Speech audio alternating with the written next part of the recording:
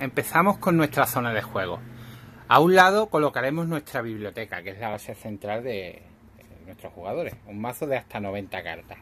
Ya hemos descrito las cartas anteriormente, las cartas que puede tener la biblioteca. A otro lado colocaremos nuestra crista, que como podéis ver son pocas cartas. Esto es así porque cuantas menos cartas, más posibilidades tendremos de que salgan los vampiros que queremos, claro. Pues, o como mínimo 12, pues a lo mejor quieres meter cuatro vampiros de un tipo, tres de otro. ¿Vale? ¿De acuerdo? Bien. Esta es nuestra zona de juego. Además, eh, cada jugador tendrá 30 contadores de puntos de sangre o puntos de vida. El mazo y la crista. Y esta es la preparación inicial. Se sorteará el orden de juego, ya sea con un dado, como mejor os parezca. ¿Vale? Y cada jugador robará 7 cartas en su mano. De 1, 2, 3, 4, 5, 6, 7. Y colocará de su cripta cuatro vampiros al azar. Se barajará el, la crista. Y boca abajo, sin saber los que son. 3 y 4. Os colocará en lo que vamos a llamar la zona incontrolada de juego. Esta zona de aquí abajo es la zona incontrolada. Una vez hemos robado y obtenido los vampiros en nuestra mano, pues ya procederemos a ver en secreto la mano que nos ha tocado y los vampiros que tenemos en, en la zona incontrolada. Todavía no tenemos el control de estos vampiros. Pues tenemos a Sebastián Goulet, tenemos a, Max Lowell,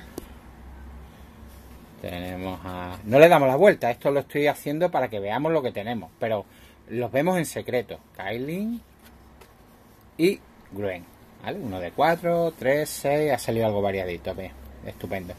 Esto en realidad pues los tendremos boca abajo, ¿vale? Los miraremos, diremos, uy, me ha tocado tal, y el resto de jugadores pues no debe de saber lo que tenemos, ¿de acuerdo? Bien. Y procederemos a comenzar la partida. Una vez comenzado la partida y cuando llegue nuestro turno, tendremos cada, o sea, cada jugador realizará su turno con las siguientes fases y realizará el turno completo. El juego tiene cinco, fases. Enderezado, jugar carta master, fase minion o fase de acciones, fase de influenciar y fase de descarte. Bien, voy a proceder a hacer una ligera descripción de cada una de las fases. La primera, la fase de enderezar es aquella en la que enderezaremos todo aquello que, que, eh, que esté, que esté girado. Eh, actualmente se le ha rellamado la fase fase unlock. Pero vamos, es la fase enderezar de toda la vida de Dios. Si hemos utilizado algo que esté girado, pues lo ponemos de pie. Todo lo que esté girado se pone de pie. Salvo algún efecto de alguna carta que no te permita hacer eso. Pero vamos, eso es lo que se hace en la fase de enderezado o fase unlock. Vale, la siguiente fase es jugar una carta máster de nuestra mano si podemos. Bien, por ejemplo, aquí tenemos una carta máster en nuestra mano. Está en nuestra mano en secreto y tenemos una carta máster. ¿Vale? Pues, no sé qué. A ver, veamos lo que es. No sé qué, digo. Bien, estamos, tenemos que es una carta, una localización única. Y nos vale para darle más uno sigilo a un gangrel antitribo. Nos cuesta. Cuando veáis estas gotitas negras, significan puntos de aquí, de nuestra vida. Dos, pues tendríamos que tirar dos puntos al banco. ¿Vale? Bien, ¿la podríamos jugar? No, no la podemos jugar esta. ¿Por qué no podemos jugarla? Porque nos está pidiendo un requisito. Aquí nos está diciendo que tenemos que tener en la mesa jugado un vampiro del clan Gangrel antitribu. Cualquiera de los que tenemos. O este, o este, ¿eh? El simbolito. ¿Vale? Pues eso significa que si no tenemos bajo nuestro control, como ahora no está en nuestro control, está descontrolado aquí, un vampiro Gangrel, pues esta carta no la podríamos jugar. ¿Vale? Hay cartas que sí podríamos jugar, cartas Master, y hay cartas que no. Por ejemplo, podríamos jugar un monasterio de la sombra si lo tuviéramos. Es otra carta de ejemplo. Digamos que nos ha tocado en la mano esta carta. No pide ningún requisito. Es una localización única. No puede, no puede estar repetida en la mesa. Mm, ahora explicaré lo que son las cartas repetidas y contestadas. Nos cuesta 3. La carabela significa también. Es como el eh, como es la gotita negra, es lo mismo, es vida de nuestro de nuestra vida. Pues ¿qué hace? Bueno, pues La juegas, pagas los, los 3 de vida que cuesta, fuera, 3 de vida, venga. ¿Y qué dice? Tú tienes más uno más de mano. Pues inmediatamente que has jugado la carta, teníamos 7, reemplazamos una carta y tendríamos 8. Pero, perdón, teníamos 7, jugamos la carta, tendríamos 6 y reemplazaremos. Siempre que se juega una carta, se reemplaza inmediatamente tras jugarla con otra carta. Porque nosotros necesitamos siempre tener 7 cartas en mano. En este caso, la carta dice que nuestro tamaño de mano es uno más. Pues entonces, inmediatamente rellenamos la, mano hasta tener 8 cartas. Porque nos lo dice esta carta, vamos. Punto. Además, esta carta tiene una habilidad. Dice tap, que es gírala. O look, como ahora es la, la nueva tipificación. Para dar a un vampiro con capacidad 8 o mayor, más uno a sigilo. Eso es para, para ciertas acciones. Pues, por ejemplo, a Sebastián Goulet, si lo sacáramos y tuviéramos esta carta, si quisiéramos hacer algo con más sigilo de lo que procede, la giraríamos y este tendría más uno a sigilo para la acción que sea. ¿Vale? Y ahora explicaré lo que es el sigilo y tal y cual. Bueno, estábamos en las cartas Master. Las cartas Master, como acabamos de ver, pues hay de varios tipos. Algunas se pueden jugar en el momento, otras no, otras tienen requisitos. Bien, pues la fase Master ya hemos, ya hemos jugado o no, o hemos pasado la carta Master. Bien, y solo podemos jugar una carta Master por fase Master que tengamos. Porque hay cartas que nos dan más fases Master. Y hay vampiros que nos dan más fases Master.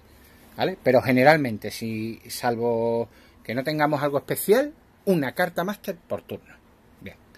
Eh, pasamos a la fase minion o fase de acciones. En la fase minion o fase de acciones es aquella en la que nuestros minions, vampiros, aliados eh, y nosotros podemos jugar cartas minion. ¿Vale? Que este término es un poco complejo. Una carta minion se refiere eh, básicamente para no liaros ¿vale? Os diré que cartas minion son las que juegan los, los aliados, los criados y los vampiros. En verdad, casi todo es una carta minion, ¿vale? Pero no liaros y tomarlo de esta manera al principio, ¿vale? Bien, vamos a ver cartas minion. Pues por ejemplo, esto es una carta minion y es un minion además. Esto es una carta minion, esto es una carta minion, ¿vale? Todo es una casi todo es una carta minion, ¿vale? Entonces, en esta fase es cuando jugamos nuestras cartas, las cartas de nuestra mano. ¿Cómo se juega una carta? ¿Y qué tipos de cartas jugamos? Pues desde nuestra mano, con nuestros vampiros, minions o como queramos llamarlo, o aliados, digamos que tenemos este vampiro y este aliado. Pues mira, tengo dos minions, ¿vale? Y quiero jugar mmm, eh, cualquier carta que tenga en la mano o cualquier acción. ¿Qué tipos de acciones podemos hacer? Bien, vamos a dividirla. La primera, sangrar. Sangrar es ir hacia nuestra presa, que es el jugador que tenemos a nuestra, de, a nuestra izquierda, que es el jugador al que tenemos que eh, derrotar, ¿vale? Y con un vampiro o con un minion que pueda eh, quitarle como mínimo un punto de sangre.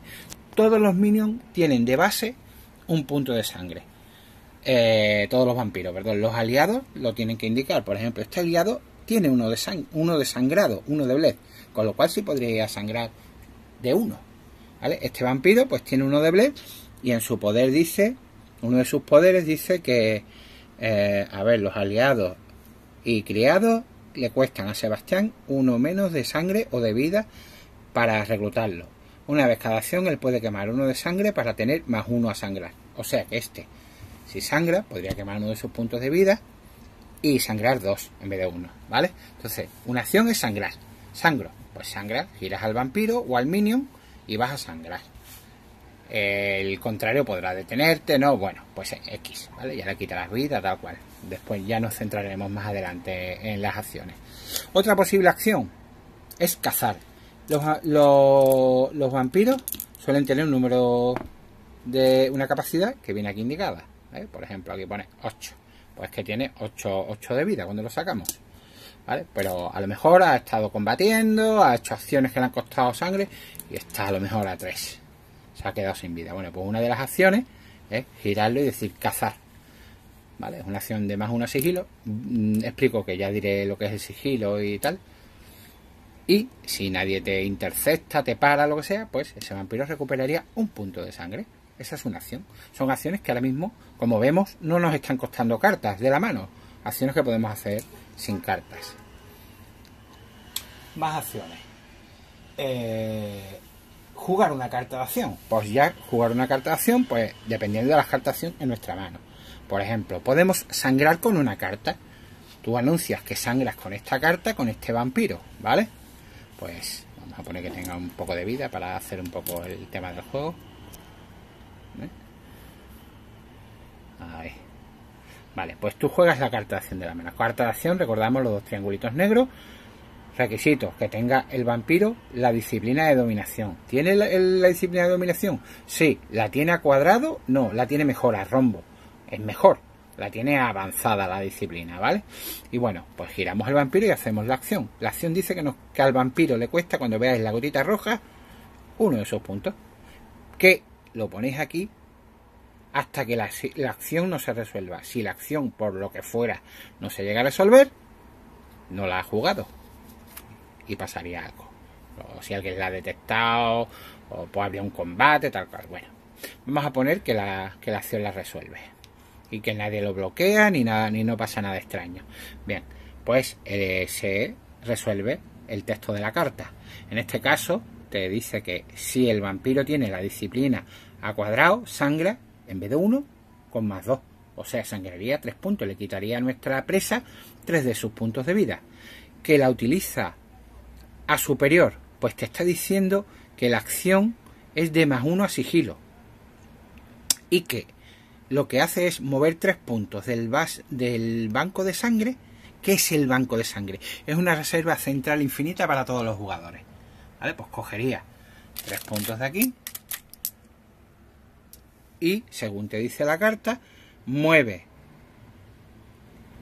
eh, o sea, mueve tres puntos del banco de sangre a un vampiro más joven en tu zona sin control. Y, volvemos, y reitero que esta acción es de más uno sigilo, que el que te quiera parar tendrá que interceptarte con interceptar, pagamos el coste de la carta y decimos, uy, ¿dónde van estos tres? Pues a mi zona incontrolada tengo que buscar un vampiro más pequeño que este. Por ejemplo, Max, uy, tres. Bien, el vampiro está relleno en este caso. Esto es una particularidad, ¿vale? Que la voy a aclarar ahora. Pero no sale, no sale hasta la fase de influencia. Pero ya está, ya lo tenemos. Nos ha costado casi gratis, básicamente, el vampiro.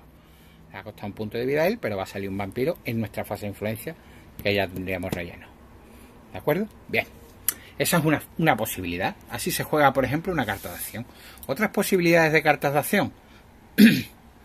pues en vez de un Gober, que se puede jugar Fijaos que, tal como lo he escrito, puede ser más sangrado o puede ayudarte a sacar tus vampiros más jóvenes. Es una carta bastante versátil y muy utilizada, bastante fácil de conseguir, una, una carta muy común y muy utilizada. Eh, otra, posible, otra posible acción, llamar a un aliado o un criado. Por ejemplo, Sebastián se gira y va a llamar a un sátiro, ¿vale? Un cambiante. Requisitos pues que sea el que, el que los reclute un vampiro gangrel antidribo. ¿Vale? Pues ese cumple el requisito. Pagamos tres, no de la vida del vampiro.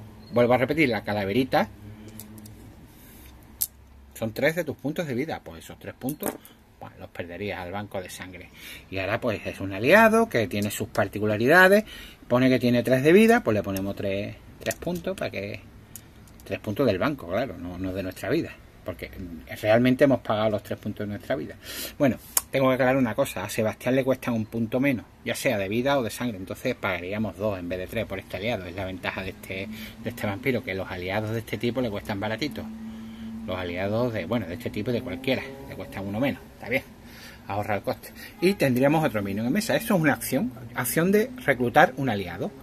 Y tendríamos otro minion que podría actuar inmediatamente ¿vale? Esto no es como en Magic que tiene Mario de invocación. Llega y, ¿eh? ¿Qué puedo hacer con esto? No sé qué. Y llega y lo hace. Mm, bueno, creo, creo, voy a aclararme en un momentito ese particular, pero estoy casi seguro de que no tienen Mario de invocación. Ahora mismo os lo digo. Bien, perdonad, pero he revisado en un momentito el reglamento y he tenido una pequeña falla y es que el aliado, una vez lo, recluta, sí tiene como una especie de mare de invocación, no puede actuar. Eh, para recordarnos ese efecto, nos dice el reglamento que lo coloquemos, aunque lo tenemos controlado, en nuestra zona incontrolada, aunque está controlado, ¿de acuerdo? A efectos de cartas y poderes.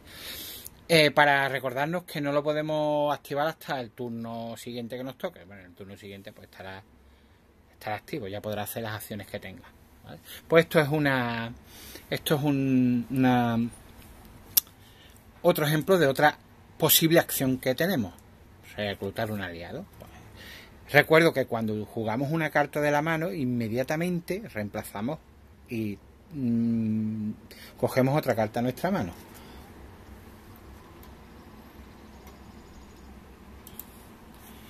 Vale, más acciones posibles.